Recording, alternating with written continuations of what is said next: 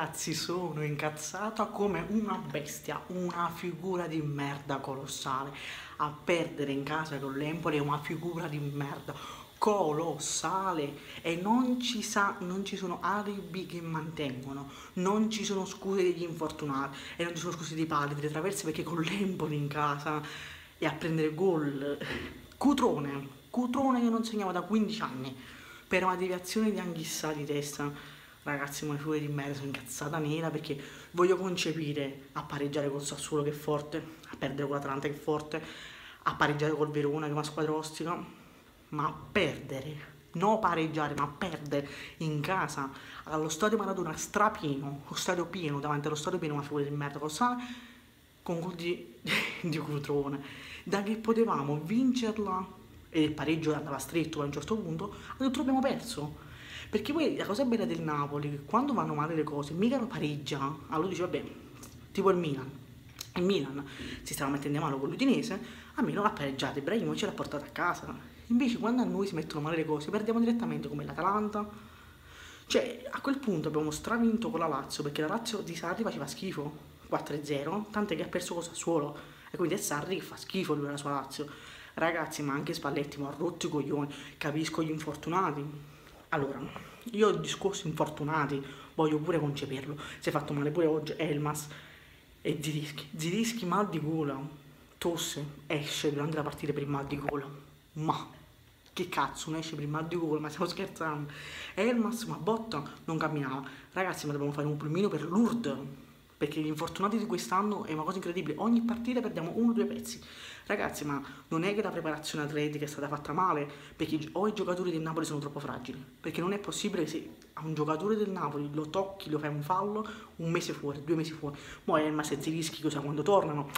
Cioè, ragazzi, è inconcepibile, o è la preparazione atletica sbagliata, o sono giocatori fragili del Napoli, o è sfortuna, non lo so, ma è una cosa inconcepibile a perdere in casa con l'Empoli, ragazzi.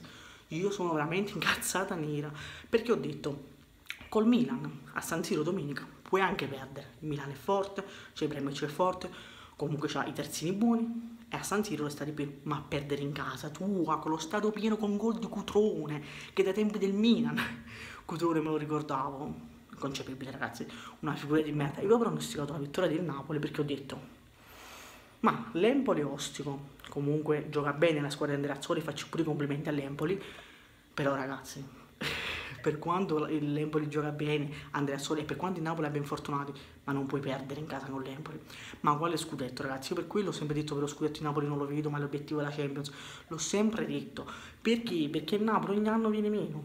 Squ le squadre di Spalletti dicevano che durano da settembre a novembre ed è vero ragazzi possibile mai che avevano ragione quando dicevano eh ma le squadre di Spalletti partono bene e finiscono male e i primi due mesi durano bene a quel punto è vero, ragazzi, ahimè, mi tocca dire che è vero. Quando dicevano tutti quanti che le squadre di Spalletti partono altissime e poi cadono, è vero, è vero. Perché settembre, ottobre, ok gli infortunati, voglio pure concepire, non c'era Osimen, però ragazzi, per battere l'Empoli avevamo bisogno di Osimen e Koulibaly, perché una grande perdita anche Koulibaly.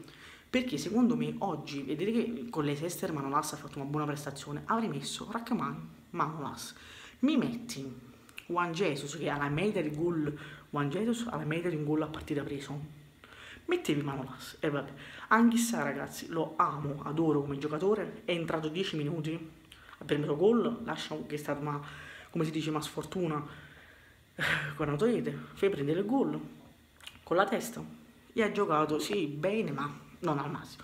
Politano è tornato dal covid. Prese il covid da quando Politano è tornato dal covid non gioca bene, Insigne ragazzi, Insigne il capitano, il napoletano, Insigne non ha fatto un cazzo, sempre il solito tiro a giro, sempre il solito giro a rotti coglioni, Mertens lo amo ma non ha fatto nulla, Petagna è un morto che cammina, io vorrei sapere una cosa, ma se torna Osimen a febbraio, noi due mesi dobbiamo stare solo con Petagna che è un armato, si gira e ci mette 15 anni, con le seste ha fatto una grande prestazione e l'ho elogiato, ma oggi non si è visto proprio ragazzi, non si è visto e Mertens idem, Insigne e il centrocampo malissimo il centrocampo Dem è un morto e un'altra grande perdita è stata Fabia Ruiz perché Fabia Ruiz era un altro che stava giocando bene Dem inguardabile per me sto Dem mm.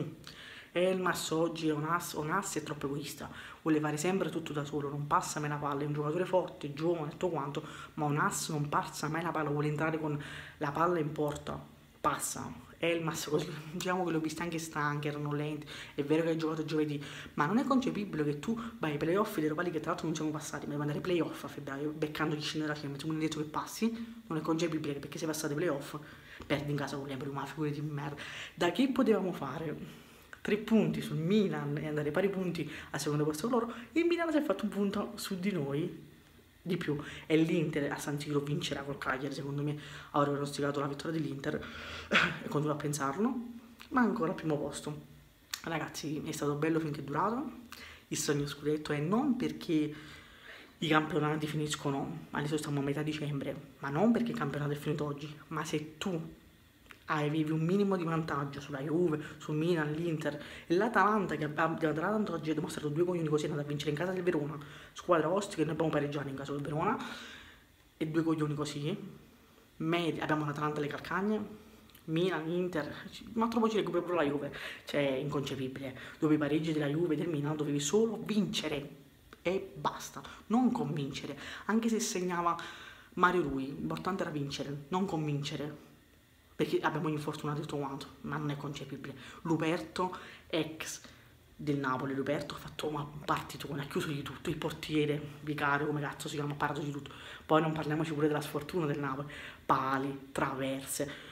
Eh, manca un attaccante di spessore davanti, giusto, manco Simen, però non è concepibile che avevi Mertens, Politano, Insigne, Petagna e per segnare all'Empoli avevi bisogno di, di Osimen e di Koulibaly e Fabio Ruiz, tra l'altro eh, Zirischi prima pure che uscisse non granché ma demmi anche i terzini di Lorenzo anche lui male oggi ma ripeto Rachmani è stato il migliore proprio se vogliamo dire in difesa ma sul gol preso l'ennesimo calcio d'angolo regalato all'Empoli abbiamo preso un gol deficiente perché su quel palo forse anche Ospina poteva fare qualcosa in più secondo me ma la difesa male anche qua è anche sta che cazzato vabbè ragazzi comunque ripeto continuo a dirlo da mesi mi piaceva lo sogno, lo sogno scudetto Napoli, ma rimane un sogno. Io ho sempre detto che dobbiamo puntare ad andare in Champions dopo due anni, ma per lo scudetto non abbiamo la panchina lunga. I panchinari sono scarsi, ragazzi. La mentalità vincente è quella, anche l'allenatore, mi dispiace Spalletti, lo amo, ma pure lui ha rotto i coglioni. E non abbiamo, eh, che era squalificato oggi, c'è il secondo, e non abbiamo ragazzi ogni volta il Napoli va sull'entusiasmo il Napoli i primi due mesi non perdeva mai, sull'onda dell'entusiasmo ma come abbiamo perso con l'Atalanta? E pareggiato col Sassuolo, il Napoli è crollato, perché il Napoli va sull'entusiasmo, nel momento in cui abbiamo pareggiato col Sassuolo e perso con l'Atalanta, il Napoli ha perso tutte le fiducie, a parte gli infortunati, eh, è proprio crollata mentalmente, è una squadra che va, è un morale, va sull'entusiasmo, lo stadio pieno, che figura di merda, ragazzi va bene così, forza Napoli sempre, forza Spalletti e vediamo di non fare una figura di merda a Milano, ma prevedo a San Siro una bella figura di merda e a maggior ragione se tu batti il Milan a San Siro e poi persi in casa con l'Empoli quella vittoria eh, con, col Milan a San Siro viene buttata nel water viene buttata nel cesso perché se tu vinci a Milano fuori casa in casa del Milan che è forte e poi perdi in casa con l'Empoli quei punti lì sono buttati.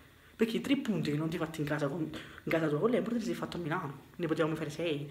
Quindi non è che il Napoli si appara perché vince col Milan a Milano. Anzi, è rammarico di dire perché non ha vinto in casa con l'Empoli. Perché il Napoli ogni anno grandi con le grandi e piccole con le piccole. Il Sassuolo pareggi, con l'Empoli perdi. Poi fai un partitone con l'Atalanta dove Napoli metteva forse il pareggio con l'Atalanta e poi vai a perdere con l'Empoli in casa grandi con le grandi e piccole con le piccole, sempre la stessa storia, possono cambiare i presidenti, gli allenatori, i giocatori, il Napoli è sempre lo stesso, lo scudetto anche quest'anno lo vediamo da binocolo e anche quest'anno punteremo ad andare Champions sperando che ci andiamo, che l'Atalanta sta rompendo i coglioni, la Roma chi lo sa, e non dico che la Roma va in Champions però. Grazie ragazzi, grazie Napoli, grazie a tutti, guardate figure di merda anche oggi. Ci vediamo al prossimo video ragazzi, sono veramente incazzata e allibita perché non me l'aspettavo. Capisco la sfortuna perché poi abbiamo preso le cose del Napoli, pali, traverse, perché il Napoli sta tanto impreciso, perché i pali e traverse a volte si prendono anche perché sei impreciso sotto porta e poco freddo. Non voglio sentire la scusa dell'Europa League degli infortunati, perché contro l'Empoli inconcepibile. Ci vediamo al prossimo video ragazzi, forza Napoli sempre incazzata ma sempre innamorata.